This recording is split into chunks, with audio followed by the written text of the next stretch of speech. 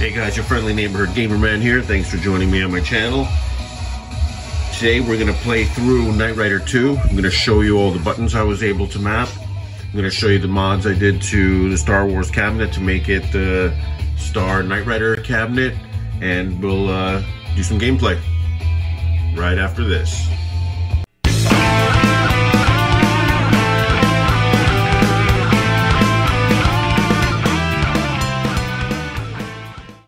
I guess the quick tour describing what everything is. I did a, a video, a build video, but I didn't actually talk about the parts.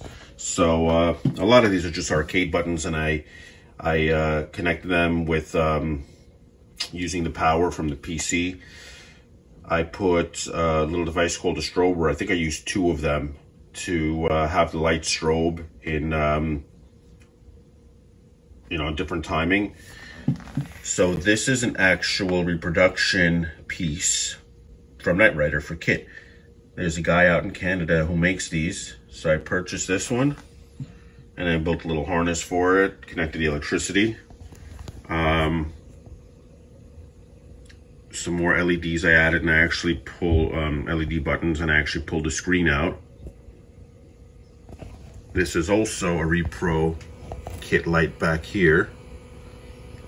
So you can press them, but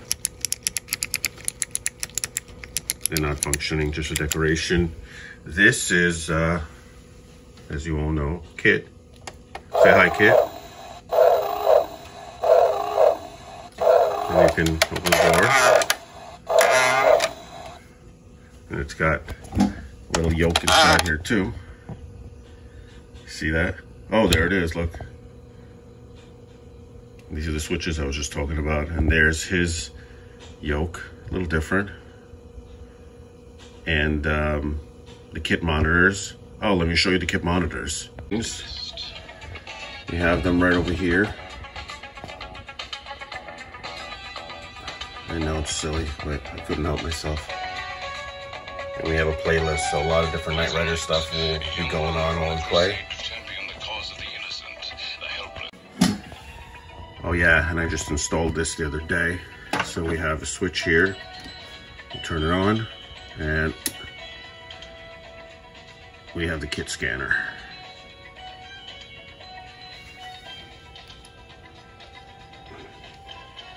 Pretty good, huh, kid?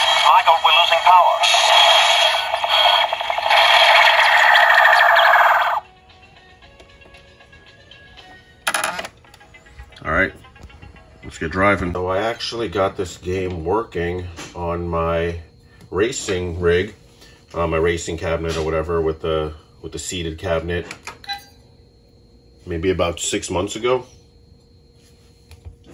And um, it was pretty cool, but it was pretty hard to calibrate um, the wheel. And I used JoyToKey to map it, and it took a pretty long time to do that as well. And I thought to myself, how cool would it be to have it on the Star Wars cab because you're playing with a yoke too. Um, which KITT didn't have this exact yoke, but something similar.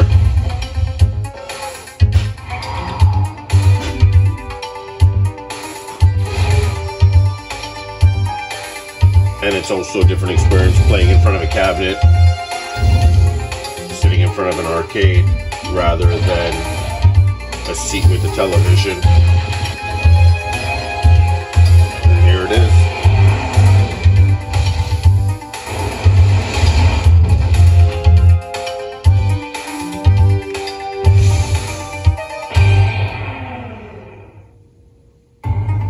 Oh, actually, I still need to do an intro video for uh, Big Box.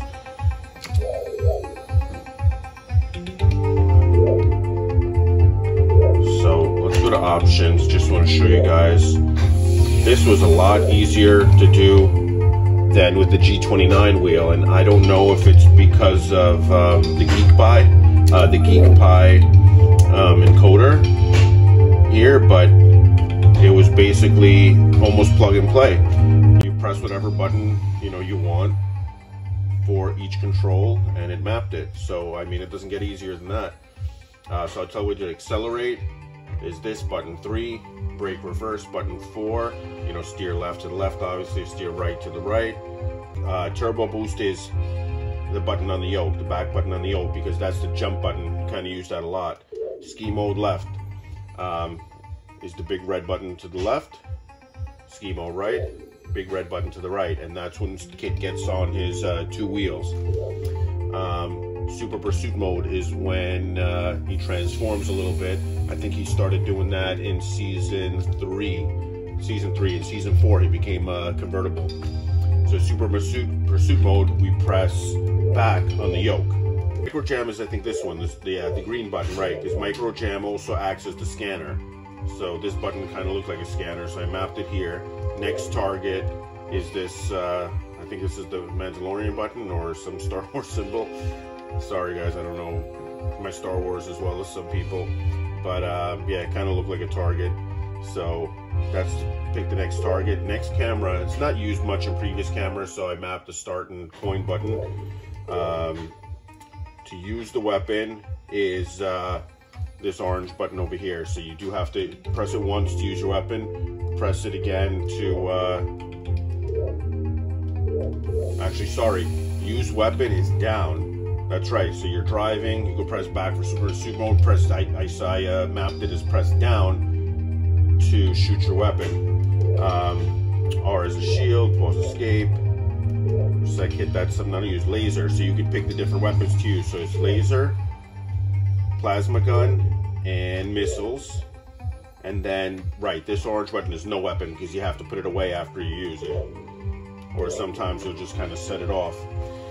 And that's a lot of buttons. On each level, you don't use every control. There's some levels that are specific for shooting and some for jumping or parts of levels. So um, it's a cool game. It's something really interesting, like a ride and shoot game. And um, yeah, let's get into it. Using well, kid, wasn't that an incredible? Yeah, and unfortunately, you can see that white bar from that angle um, because it's a Windows game, a PC game, or Windows PC. So if anybody knows how to get rid of that white bar, please let me know. Um, I couldn't figure it out. I don't know if there is a way. When I'm sitting here, you can't see it because of the bezel. For those of you who played, like, who tried PlayStation games or different um, PC games with like random wheels that were meant for keyboards and joysticks, you know how bad some of them can be. And look at that.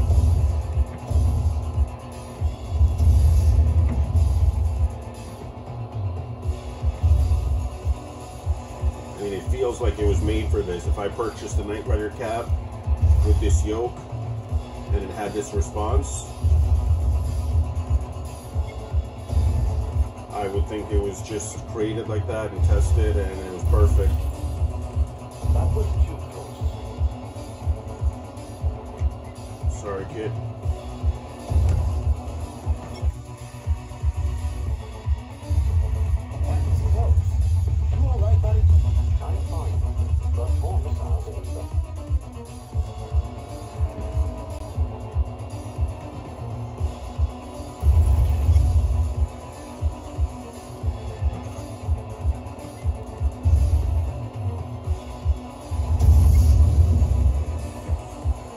Just swerving to try to get out of the way of the missiles. I have it on easy level, so if I stayed straight, I mean, it would probably like give me more energy. I played it on harder levels and I got beat up pretty quick. I think they're all missing me anyway.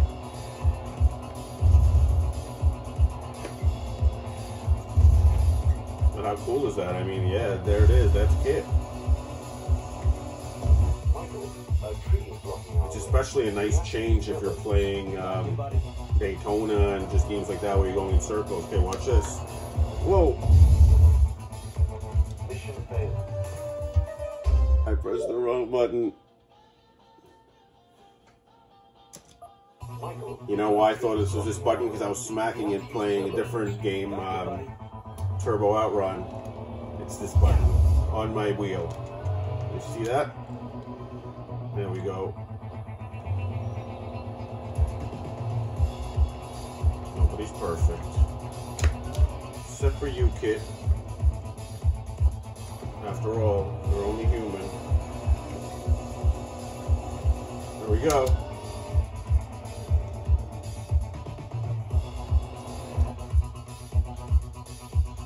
Alright, this is a big jump.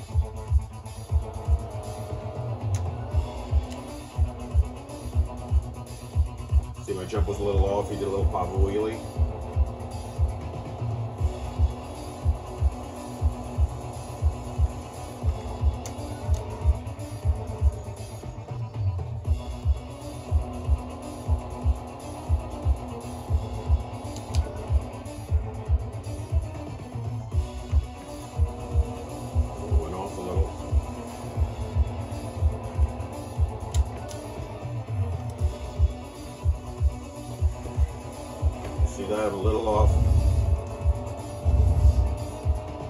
Sometimes I play, I can get it really smooth.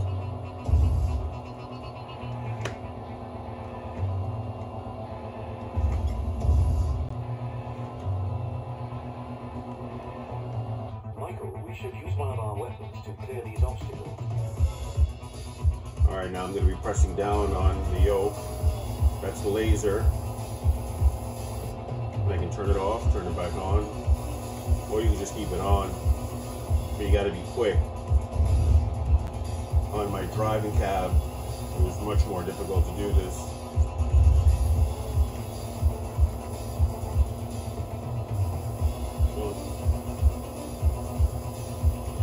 You get stuck for a second, and those missiles get you, and then game over. So this one's close.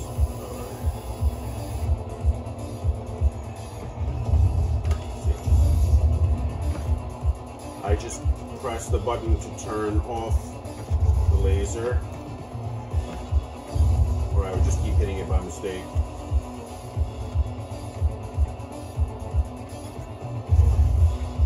Kind of didn't have the button in the best place. I only tried mapping it that one time, so as I play, I'll figure it out a little better. Maybe I'll remap.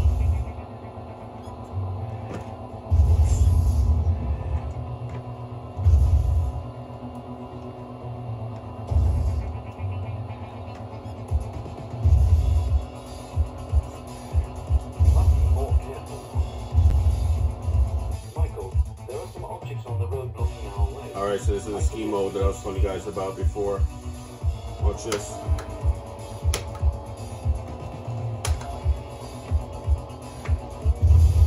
Oh, it's too close.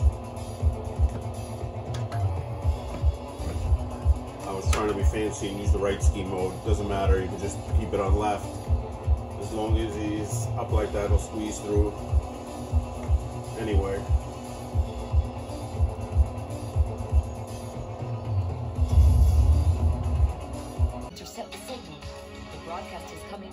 Miles west of our current position. Devon wants you to find out the exact location. Well, KITT, you heard the lady. We've got some work to do. Ready to hit the road?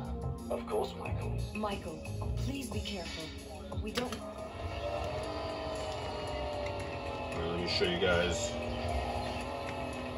super pursuit mode. You gotta press the gas, huh? I'm gonna skip these. That transformation? See if I can keep it straight today. At 300 miles an hour.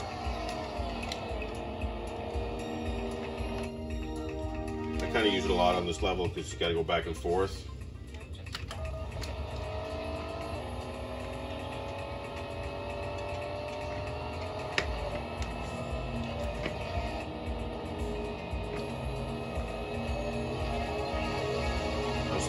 Super pursuit mode would be easier pressing forward.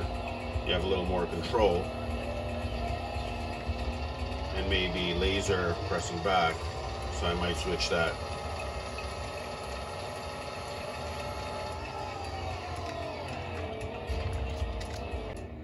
So now I press my scanner button, scan that. One of the buttons was shield too. I've never had to use a Data shield. retrieved from this terminal tells me that there are three other terminals connected to this gate. We have to find them in order to open this gate. So what are we waiting for? Let's step.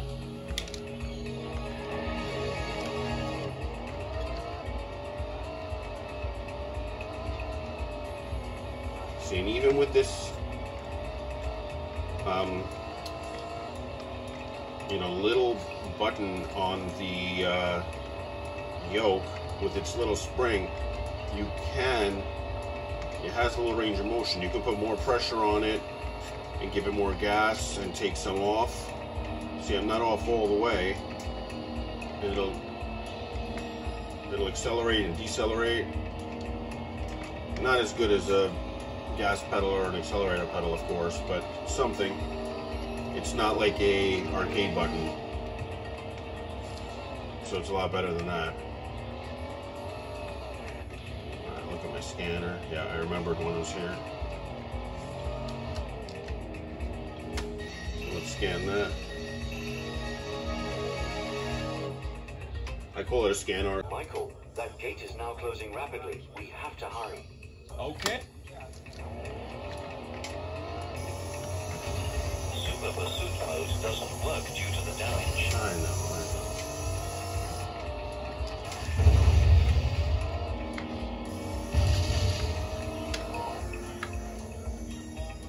completed.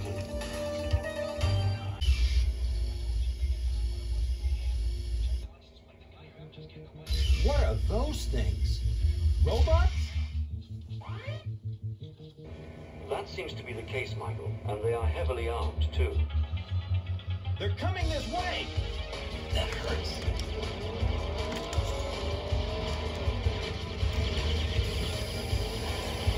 Well done!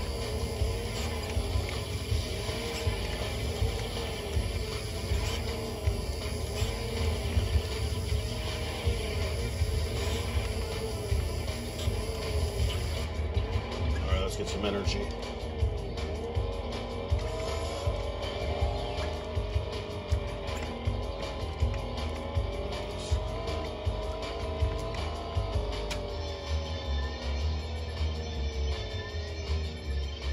Recharging completed.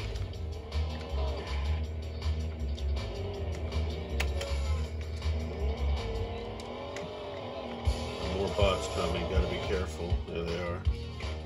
Let's get them. Thank you.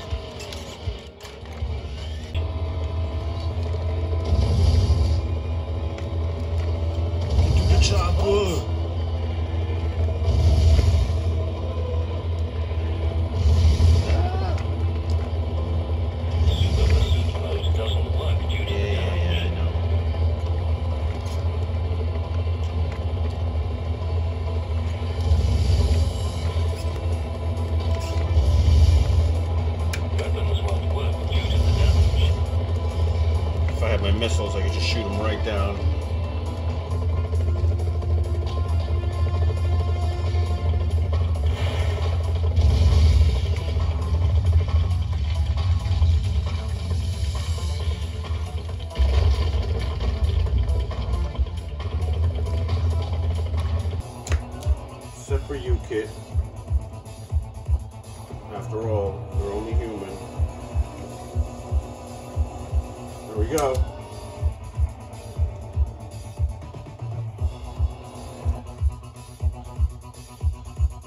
This is a big jump.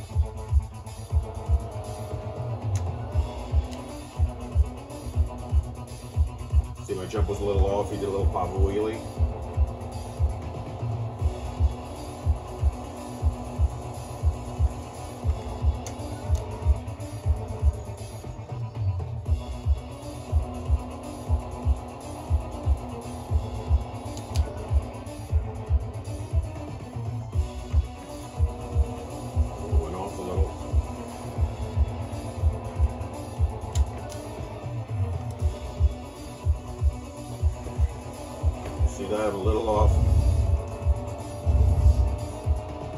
I play, I can get it really smooth.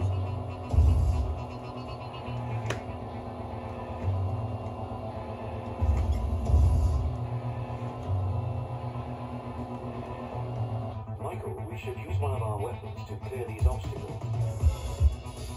All right, now I'm going to be pressing down on the yoke. That's the laser. I can turn it off, turn it back on, or you can just keep it on. But you got to be quick. My driving cab, it was much more difficult to do this.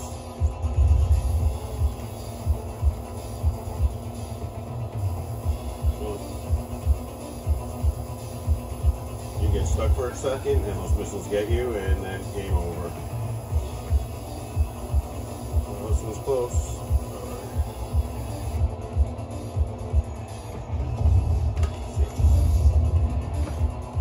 I just press the button to turn off the laser, or I would just keep hitting it by mistake.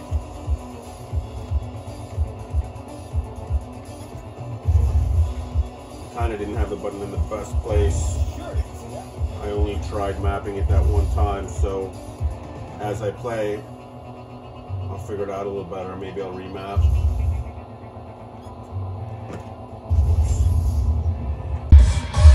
So this is a big box front end, actually created by B Kong, but updated by me. And I added my Knight Rider. I'm gonna make it clear that this is the PC version, not the PlayStation 2. I just like the PlayStation 2 artwork. And just click on it and it loads up as a PC game.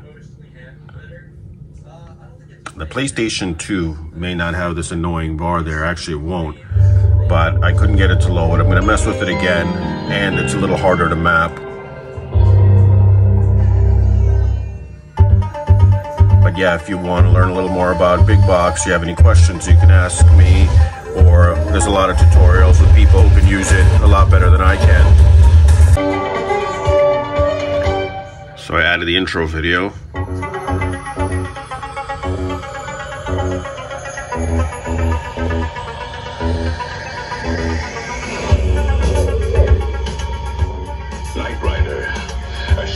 Flight into the dangerous world of a man who does not exist.